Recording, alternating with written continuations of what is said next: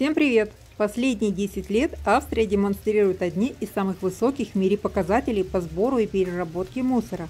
По данным статистики, 96% австрийцев тщательно сортируют мусор, так что его ежегодно со всех домохозяйств собирается более миллиона тонн макулатуры, упаковок и бытовых отходов. Уборка и сортировка мусора в австрийских землях регламентируется на государственном уровне. Сбором мусора занимается около 850 частных компаний – а также муниципальные предприятия, которые регулярно отчитываются о количестве собранных отходов. Очень важно! В разделе мусора есть региональные различия. Например, в одних муниципалитетах мелкие металлические предметы, вроде проволоки и гвоздей, собирают отдельно, а в других вместе с консервными банками и прочей металлической упаковкой.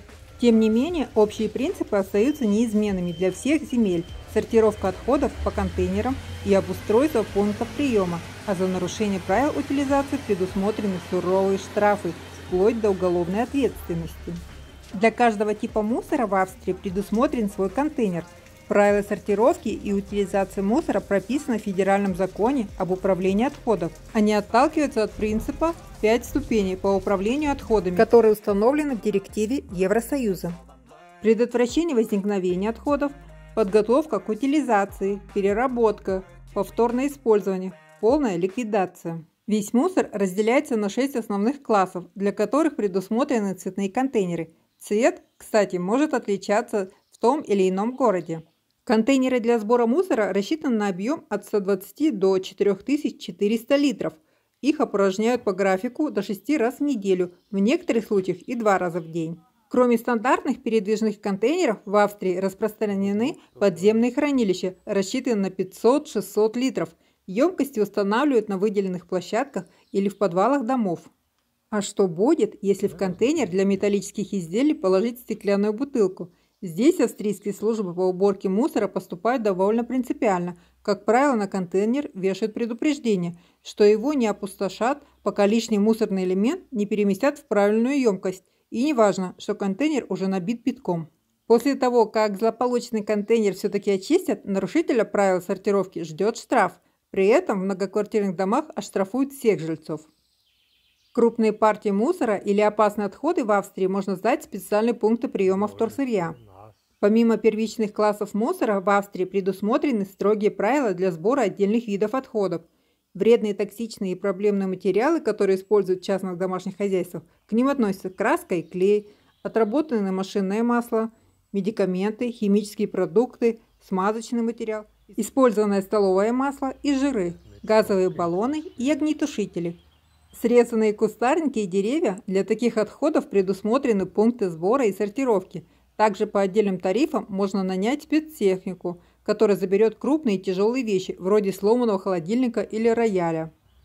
Кроме того, во многих супермаркетах и торговых центрах установлены специальные ящики для складирования батареек и лампочек – а в некоторых пунктах приема отходов есть контейнеры для приема ношенной одежды, которые отдают бездомным.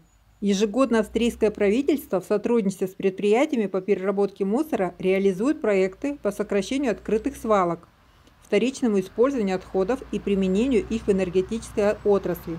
В частности, в Вене, Нижней Австрии, Верхней Австрии, Сальцбурге и Карентии – Тепловую энергию от сгоревшего на мусоросжигательных заводах пластика используют в сетях централизованного теплоснабжения.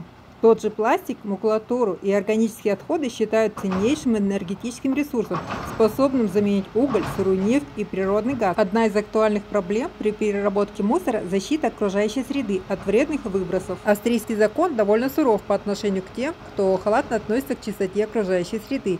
За оставленную на тротуаре бутылку из-под воды или за брошенный окурок полицейский выпишет штраф 90 евро. Еще более суровые санкции ждут тех, кто пренебрег правилам утилизации мусора. Для частных лиц, в зависимости от тяжести нарушения, предусмотрены штрафы от 850 до 41 200 евро. Если закон нарушила компания, занимающаяся вывозом мусора, минимальное наказание для нее 4200 евро. А вот загрязнение окружающей среды опасными отходами, например, слив отработанного моторного масла водоем, попадает уже под уголовную ответственность. Такого нарушителя ждет следствие и суд. Римский мусор помогает обеспечить энергией австрийские дома и отправляет его в Австрию поездом. Вы представляете себе? Мусор поездом в Австрию. Об этом я расскажу в одном из следующих своих видео.